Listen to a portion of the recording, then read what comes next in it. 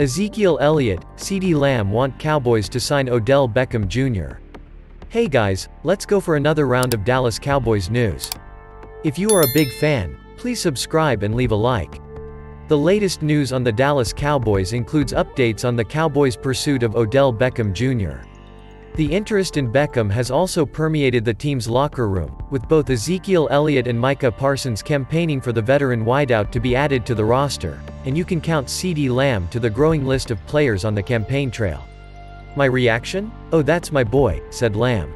I'm a fan of Odell, for sure. I feel like, why wouldn't you want to add more firepower to this, hashtag Cowboys, offense? It's a valid question, albeit one with many layers, and it's one the Cowboys once posed ahead of drafting Lamb in the first round of the 2020 NFL Draft after having traded for Amari Cooper in 2018 only months after having used a third-round pick on Michael Gallup. Those moves created a triumvirate of talent at receiver to begin the post-Dez Bryant era, and with Cooper having been traded this year to the Cleveland Browns, there's a reason Lamb isn't offended by all of the talk regarding the Cowboys and Beckham. Michael Gallup is a number one receiver, too, Lamb said. We had three number one receivers during my rookie year, so why not get back to that?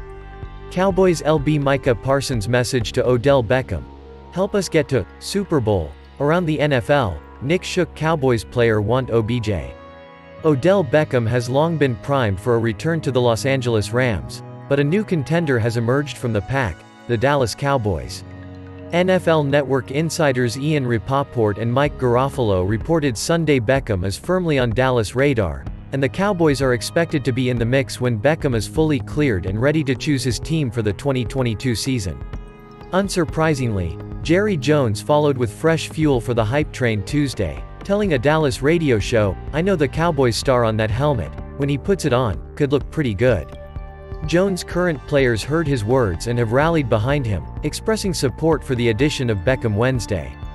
S. We can use him, linebacker Micah Parsons said, via the Fort Worth Star-Telegram's Clarence Hill Jr. I think he's a great player. He'll expand this offense. He's a guy you want on the team beside all the other critic stuff that people make up an S about him.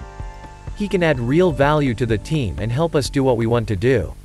Running back Ezekiel Elliott, who watched Beckham shred his Cowboys to the tune of 154 total yards and three touchdowns back in 2020, kept his response simple. We want him, Elliott said. We want OBJ. Sign up and leave your like, and I'll update you with news from Cowboys at any time.